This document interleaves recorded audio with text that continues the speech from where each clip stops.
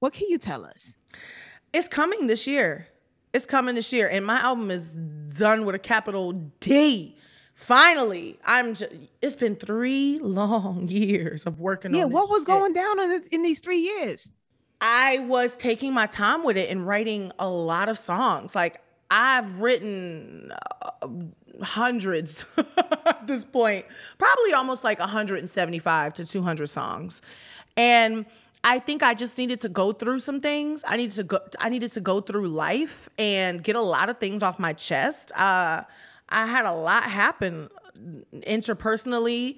A lot has happened globally, and I think I needed to process that. And the way that I process things is through writing music. So I was writing these songs, but then I I just needed to keep going until I found my sweet spot and like what the world needed to hear. And the world needs love.